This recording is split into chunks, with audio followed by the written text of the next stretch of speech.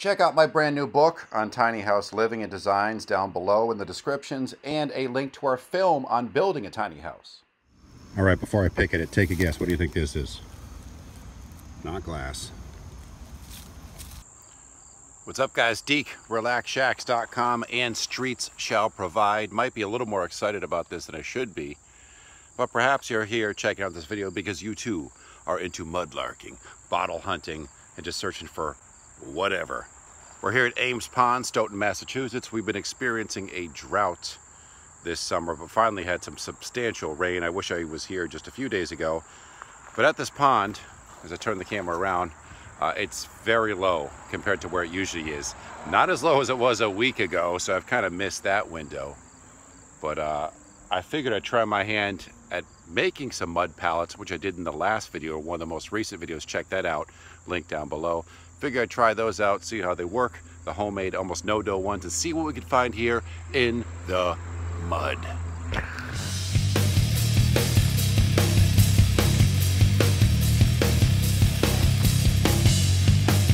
All right, here we go. Already I'm seeing some interesting stuff. Look at the size of these snails here. A lot of random lumber and such.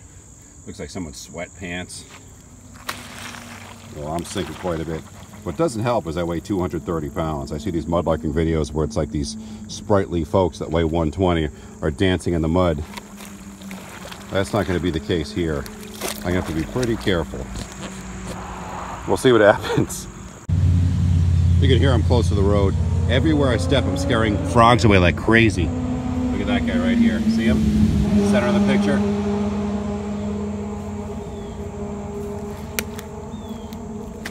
Yeah, this is some pretty slippery, nasty mud.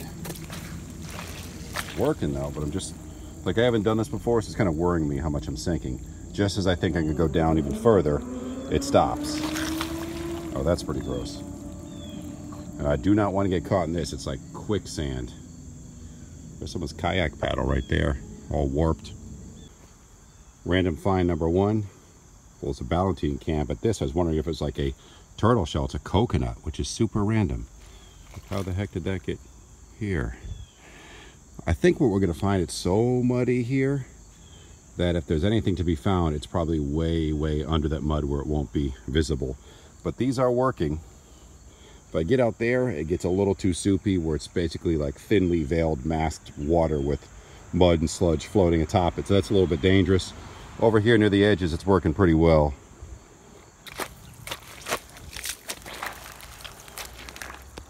Look at this here. It's like a half log for like a bench. It's huge. That'd be awesome for like your garden or landscaping if I could ever get that out of here. And over here, more coconut shells. What the heck?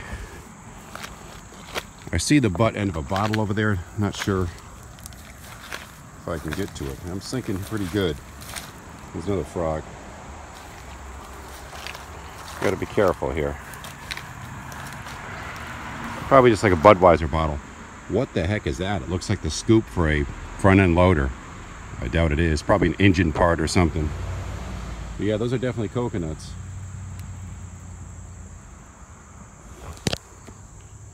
How incredibly random.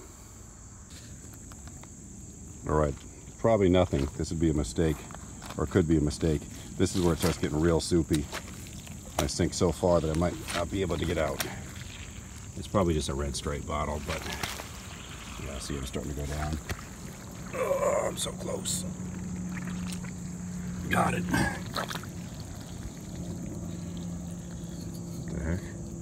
It's smaller than a red stripe bottle. I'm not sure what it is. I'll clean it up in a sec. I'm getting stuck. Time to back up. Yeah, all the mud. See these videos, a lot of the stuff that gets stuck on the shoes. Doesn't come off that easy and weighs you down. So this is just me testing these out. Here we are closer. What the heck is that thing? Anyone know? Interesting. It looks heavy. I'm not going for it. Here's the close-up. Not embossed, nothing that interesting, but it's a very small bottle. Probably like a pony beer bottle, I don't know. Kind of neat, intact, probably not that old. Uh, we plan on growing flowers, my daughter and I, and selling them roadside honor system style. This could be a neat little vase that someone can take with them. So I'll pull that out of the pond.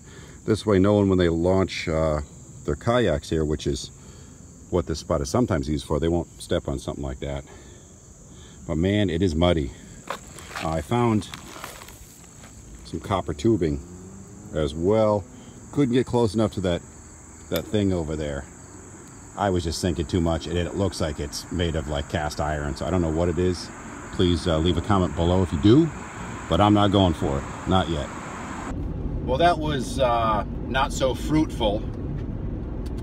Found a couple things. It was just too muddy there, like soupy, so it's probably just the wrong locale. It's not one of those tidal flats. I need something where the substrate's a little stronger. And maybe I just weigh too much for those things and need to make them bigger. Maybe that's all it is. Um, when they get stuck in the mud, they really get stuck. So you got to be careful because if you lose one in the mud, all of a sudden, like, where are you going to step with the other foot while you're trying to fish it out? It might lead to more trouble. What I'm going to do right now, if you're still with me, I'm going to head. I got like an hour to kill, maybe not even. On my way back to a creek we've hit before with my daughter, whether the video is up or not, near a former mill site. The ruins or foundation of a mill. There's a creek running through there, a chute. Uh, the mill was from the early 1800s, close to my home. Haven't been there in months. Want to see if anything else has been unearthed bottle-wise. We found some cool stuff there before. Uh, had limited time then and have limited time now. Let's see what's in store. So here we are again. Remains of an old road. That road probably wasn't here. That's Mill Street right now. This one you can see continues through the woods that way. Uh, hasn't been used. Well, it's not even paved, so it's certainly old, maybe just an access road to the mill that was here. And the chute's down this way. Again, another video. Lots of stuff here. Most of it busted. It's very clear here, which is nice. And getting buggy, so this might be a short trip. I didn't think about that here in the shade. We were looking here last time, and everywhere you look, just glass, a lot of it pretty old too. Everywhere, busted up. It's crazy. That's a mason jar. That's pretty thick. I don't know what that was. We found a couple intact ones. Chances are very slim. Probably an old wine bottle, but there's a lot of stuff here. There's a lot of rocks too, and it's kind of fast running probably at times, so that will limit what we find. Oh, look at this. These are some we might have piled up last time, I think. Old 7-Up bottle, not that old. Cool though. There's just a lot of stuff buried in the mud. You metal detected here. You can find a lot of beer tabs, but maybe some coins. I don't know. Probably worth a try at some point. Some of the ones we stashed in a pile last time, kind of hidden. This, no markings on it, but kind of cool. A random Bud Light bottle. I don't think that was here last time, so someone else has been here and added their, their bottle to the collection. Some cool stuff. There's got to be something else here. All right, so I'm stomping around. I've come quite a ways. I didn't film any of it. Uh, into the woods here. A little bit ill-equipped. Uh, be it the mosquitoes. So look at this tree that fell over here. Huge. Mosquitoes, just the gear I have. Just taking a quick peek here. And I'm standing on one of the many tires you seem to find in these creeks. How do they get this far in? I don't know. They probably just wash their way in. And there's what looks like a bottle under me. So I turn the camera on so we can see if it's something in real time that's awesome or just like a blue Bud Light bottle. I hope it's a cobalt bottle. That'll be amazing, but it might just be crap. So I'm standing in the tire here. See that right there? Kind of buried. Let's see what that is. Please be something cool.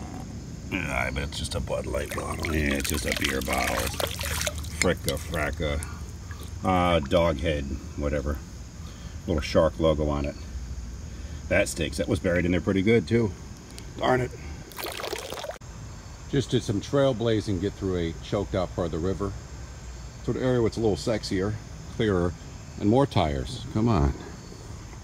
I'm trying to see in this one area there's like a deep spot here but it's just with the glare it's real tough. So I'm gonna fish around in there and keep looking Finally, something cool. hey, I'll keep it. These add up after a while and I sell them. So much stuff here. I was just doing some bushwhacking. thinking maybe in the floodplains I could find something, but I'm back in the riverbeds. Uh, is that 1800 something?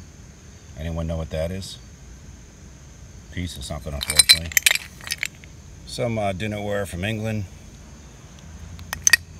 Another piece of something.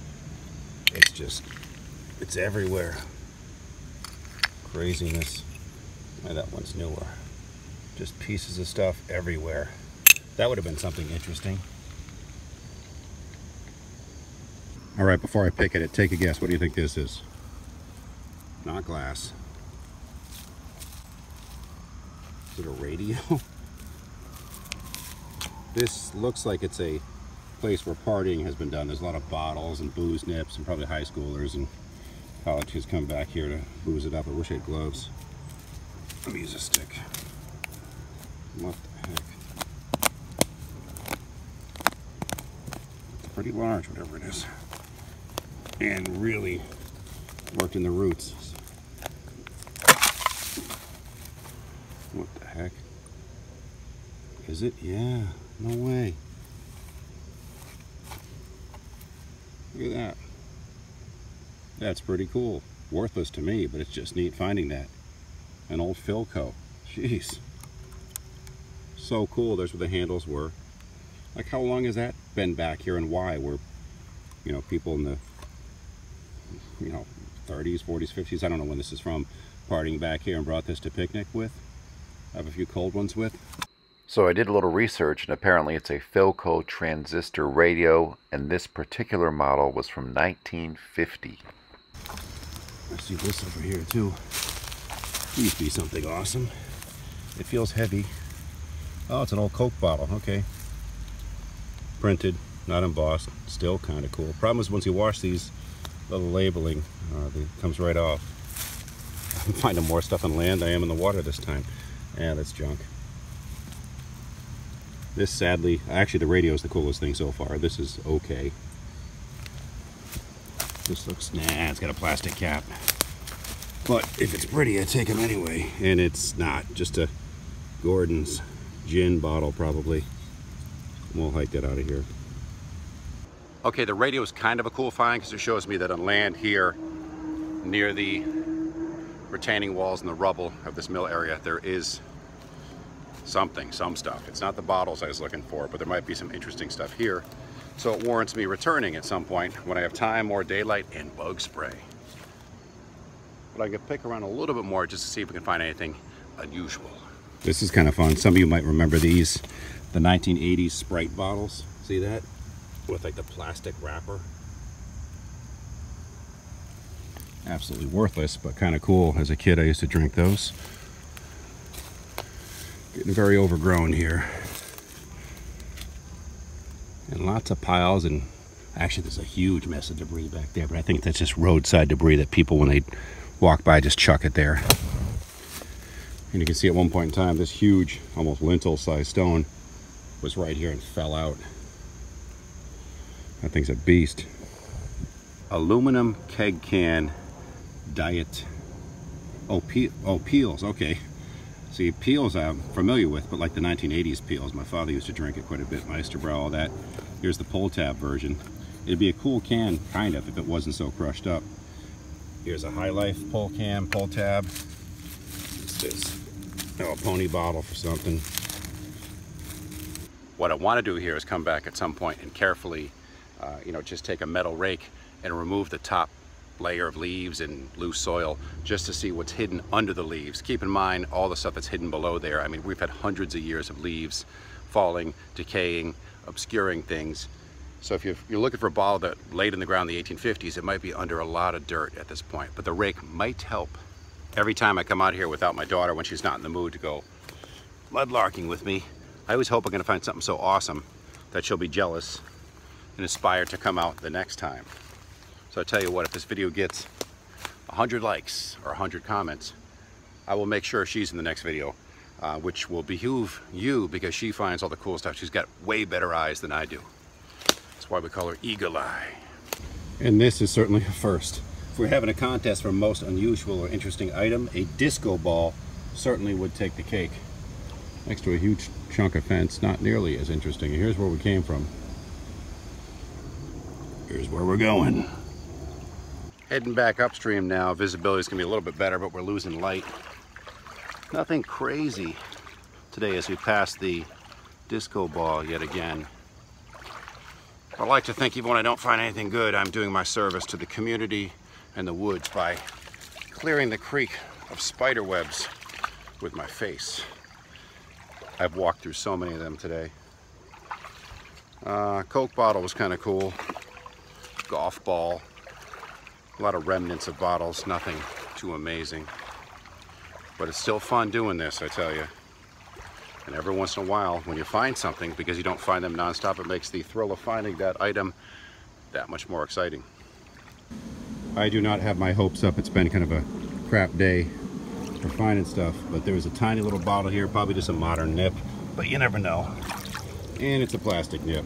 Darn it. All right, here's another one. It looks like a screw top from here, but again, if it's pretty, I'll take it anyway. Ah, it's plastic, even worse. Not my day. All right, back home, all cleaned up, hair like Kramer. Uh, it's actually the next morning, but that was the end of that video. Found a couple cool things. Again, if you have any expertise, let me know what I have there. I actually just got a call last minute to do a house clean out. Saw some pictures of it. The place looks ridiculous, like pedal cars, old antique sleds, crazy amount of stuff that's going in the trash tomorrow. So that will be our next video. If you want to see that, be sure to subscribe. Leave a comment down below. Again, looking for your input and some of the things we found. Hit that bell for notifications. Thank you for watching, and we will see you later. I'm off to do some serious, serious picking. Wish me luck.